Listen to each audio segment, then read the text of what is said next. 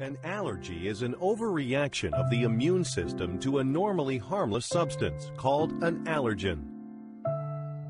Common allergens include pollen, animal dander, down feathers, mites, chemicals, and a variety of foods. On first exposure, the inhaled allergen enters the mucous membrane lining the nasal passages, where it is taken up by the antigen-presenting cell, which presents it to the T cells. These T cells activate the B cells to release substances called IgE antibodies against the allergen. These IgE antibodies sit on the surface of the mast cells. The mast cells have granules containing chemical mediators like histamine and prostaglandins, etc.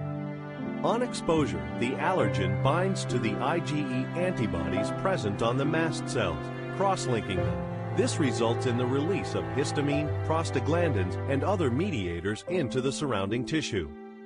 These mediators cause dilation of the surrounding blood vessels and increase their permeability. This results in the nasal stuffiness, sneezing, and mucus discharge of allergic rhinitis. Antihistamines work by blocking the action of histamines at its receptors and thus decreasing the body's reaction to the allergen.